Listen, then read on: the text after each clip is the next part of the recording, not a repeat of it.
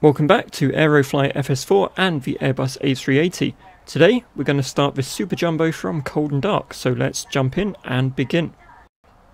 First we'll switch on batteries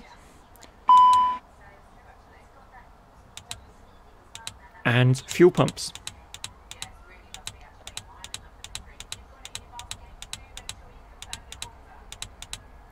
Set the IRS to nav and switch on the external power. Switch on the APU master and start the APU. When the APU shows as available,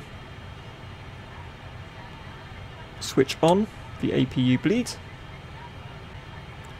On the FMC, our flight plan that we made in the world map has pulled through, but as soon as we head to the initialize page and enter our cruising altitude, using the keys just below the FMC,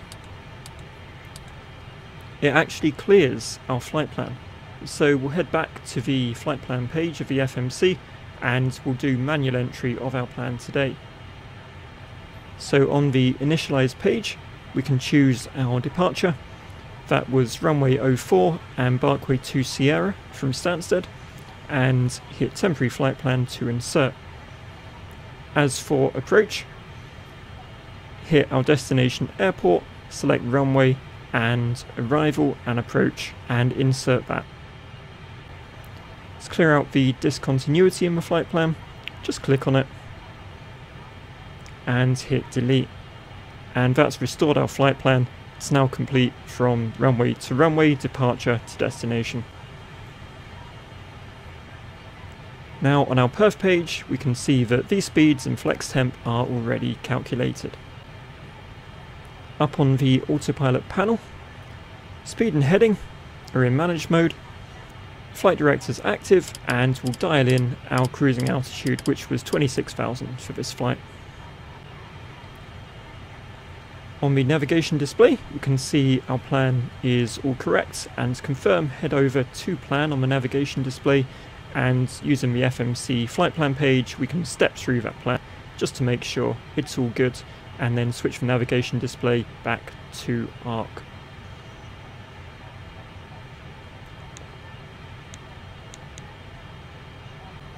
Back on the overhead panel we can start the engines. Flick the start switch to start and we'll flick on the ignition for engine 4. Engine number 4 will now start and when it shows as available in the real world these engines are started in a certain order but in the sim we can just flick on the other engines all at once and very shortly on the ECAM you'll see all engines showing as available. We've now got a pre-takeoff checklist to complete but first we'll switch off the APU bleed, switch off the APU and switch off external power. To work through this pre-takeoff checklist, auto brake to RTO, spoilers to the arms position and flaps to takeoff config. Flap config for takeoff is shown on the perf page. Now we'll check the takeoff config and everything looks good. Don't forget to switch off the engine starter, set the engine switch to normal. And that's it, we're ready to go from here on out. You can follow my full flight tutorial, which is linked in my Aerofly playlist. Thanks so much for watching, I hope this was useful. If it was, please drop a like and subscribe for regular flight sim and Aerofly content. Take care and I'll see you next time.